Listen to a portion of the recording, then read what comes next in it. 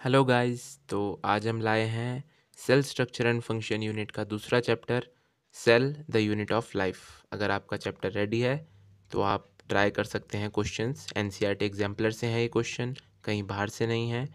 तो आप एनालाइज कर सकते हैं कि आपके कंसेप्ट पूरी तरह से क्लियर हो चुके हैं इस चैप्टर के या अभी आपको और प्रैक्टिस की ज़रूरत है. So guys let's start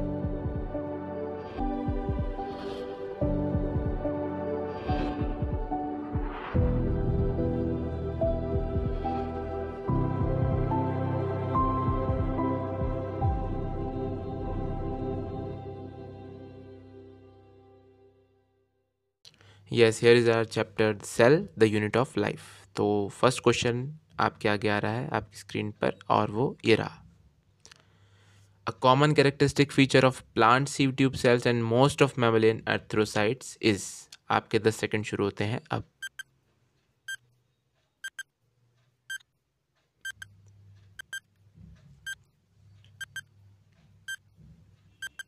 yes time up तो इसका सही आंसर देखते हैं कि एब्सेंस ऑफ़ माइटोकॉन्ड्रिया तो नहीं absence presence of cell wall भी नहीं presence of haemoglobin absence of nucleus sieve tube cells और मेमिलिन अर्थ्रोसाइट्स का कॉमन फीचर है एब्सेंस ऑफ़ न्यूक्लियस तो इसका सही आंसर है डी बढ़ते हैं नेक्स्ट क्वेश्चन की तरफ़.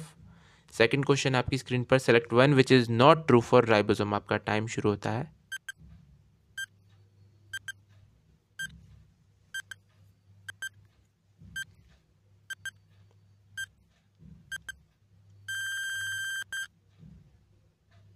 टाइम अप तो इसका आंसर देखते हैं क्या है। नॉट ट्रू फॉर राइबोसोम पूछ रहे हैं तो made of two subunits बिल्कुल सही बात है। फॉर्म पॉलीजोम में attach to M R N बिल्कुल सही बात है। Have no role in protein synthesis ये गलत बात है, क्योंकि राइबोसोम का ही मेन रोल है प्रोटीन सिंथेसिस में। यही अटैच होता है एम आर एन ए से, जो कि प्रोटीन सिंथेसिस में हेल्प करता है तो इसका सही जवाब हुआ सेकेंड का डी नेक्स्ट क्वेश्चन की तरफ़ मूव करते हैं। थर्ड क्वेश्चन है हमारा which one of these is not a eukaryote time start now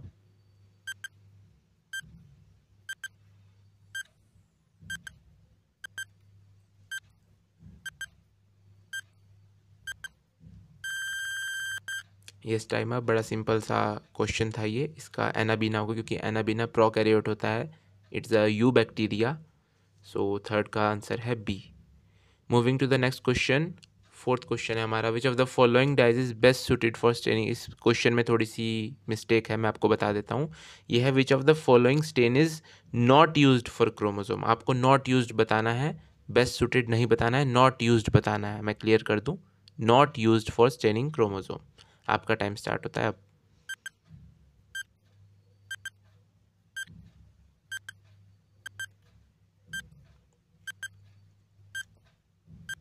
yes time up ये थोड़ा सा एन e से बाहर का क्वेश्चन है, लेकिन एनसीआरटी एग्जाम्पलर में दिया है तो हमें एक बार ट्राई ज़रूर करना चाहिए। इसका सही आंसर है फोर्थ का बी सेफ्रेनिन सेफ्रेनिन वो स्टेन है जो कि स्टेनिंग क्रोमोजोम में यूज़ नहीं होता है अकॉर्डिंग टू एन एग्जाम्पलर है ये।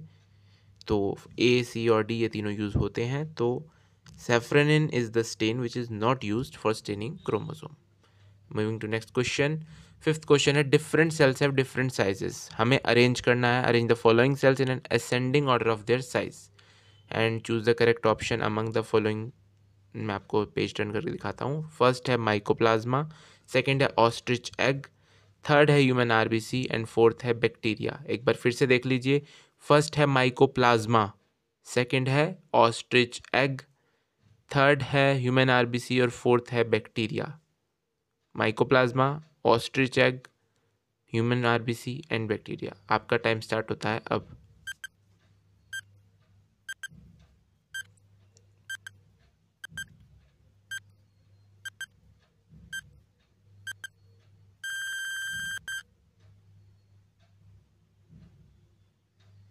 आई होप आपने अब तक कर लिया होगा। एक बार फिर देख लीजिए। फ़र्स्ट है माइकोप्लाज्मा सेकंड है ऑस्ट्रिच एग थर्ड है ह्यूमन आरबीसी और फोर्थ है बैक्टीरिया हम सब जानते हैं माइकोप्लाज्मा जो है वो सबसे स्मॉलेस्ट सेल होता है।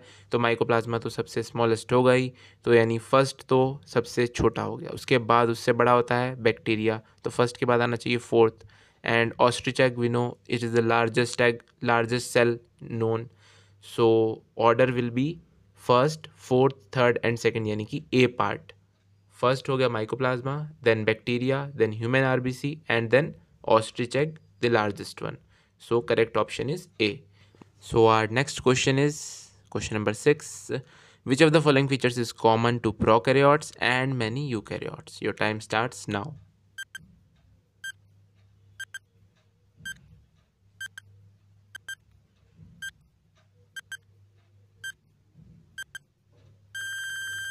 Yes, time's up.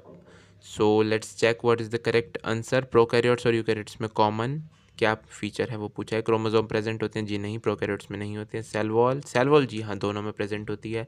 Nuclear membrane prokaryotes में नहीं होती है। सब सेलुलर ऑर्गेनिलीज भी प्रोकैरियोट्स में नहीं होती हैं। तो correct answer will be B part यानी कि सेल वॉल प्रेजेंट होती है। Moving to next question seventh question है हमारा। Who propose the fluid mosaic model of plasma membrane very simple your time starts now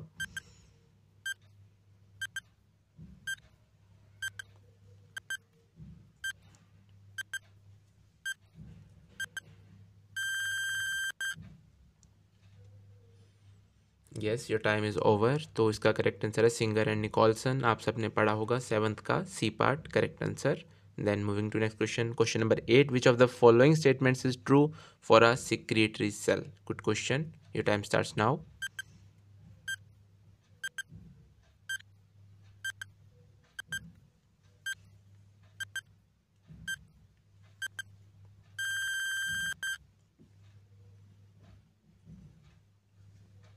yes your time's up तो इस question में थोड़ा सा जो अलग बात थी, वो थी, इन्होंने सिक्रेटरी सेल से नाम दे दिया है। सिक्रेटरी सेल से मैं बता दूँ, इनका मतलब था जो प्रोटीन सिंथेसिस और सिक्रीशन करते हैं सेल उसके लिए क्या ट्रू है? और उसके लिए ट्रू होता है बी पार्ट यानी कि rough endoplasmic reticulum is easily observed in this cell क्योंकि रफ एंडोप्लाज्मिक रेटिकुलम का ही काम है सिंथेसिस और ये प्रोटीन सिंथेसिस एंड सिक्रीशन तो एट्थ का बी पार्ट ही सही है। स्मूथ एंडोप्लाज्मिक रेटिकुलम आपको पता होगा, ये सिंथेसिस करता है लिपिड्स या फिर स्टीरोइडल हॉर्मोन्स का। तो और अपना गोल्गी अपरेटस है, ये पैकेजिंग का काम करता है। तो सिक्रेटरी सेल का क्या आएगा? हमारा एट्थ का बी पार्ट करेक्ट आंसर है। Moving to next question ninth है what is the tonoplast your time starts now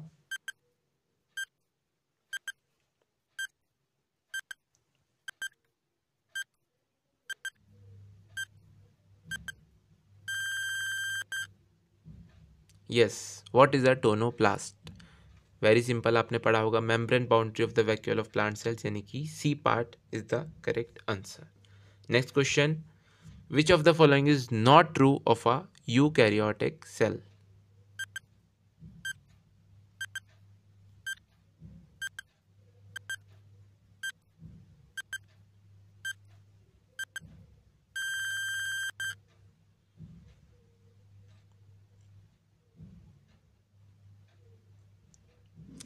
yes so time's up इसका क्या होना चाहिए? It has eighty S type of ribosome present in the mitochondria गलत बात है ये तो। It has eighty S type of ribosome present in cytoplasm बिल्कुल सही बात है। Mitochondria contain circular D N A बिल्कुल सही है। Membrane bound organelles are present ये भी बिल्कुल सही है। तो टेंथ का ए पार्ट गलत है जो हमें बताना था।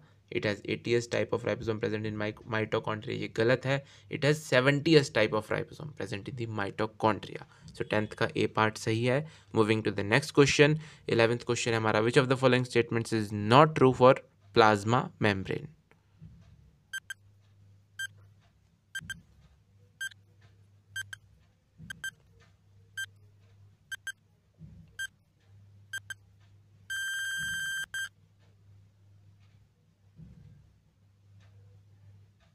yes time's up so it is present in both plant and animal cell बिल्कुल सही बात है। Lipid is present as a bilayer in it yes lipid bilayer होती है। Proteins are present integrated as well as loosely associated ये भी बिल्कुल सही है।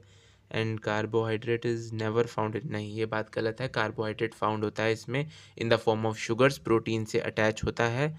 तो इलेवेंथ का डी पार्ट करेक्ट होगा। तो moving to next question twelfth question है हमारा। Plastid differs from mitochondria on the basis of one of the following features. You have to mark the right answer. Your time starts now.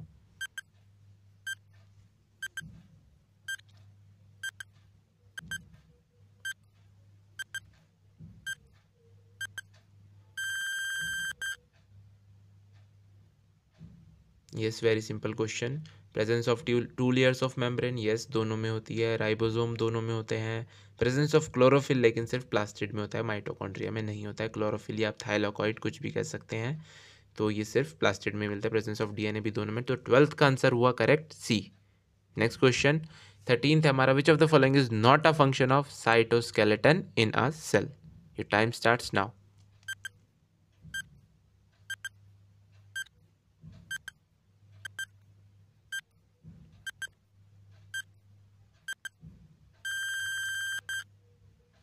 yes, time's up. So let's check what the correct answer intracellular transport तो cytoskeleton से कुछ नहीं होता है. Maintenance of cell shape and structure जी हाँ बिल्कुल सही बात है.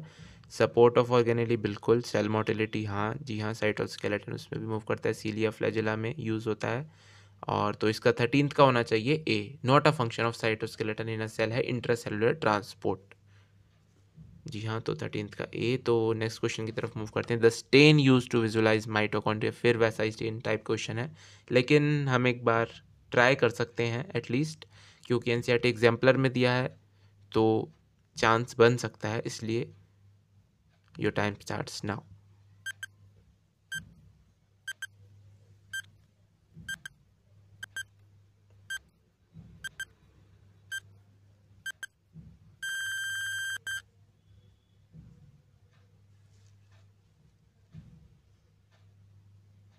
yes, your time's up.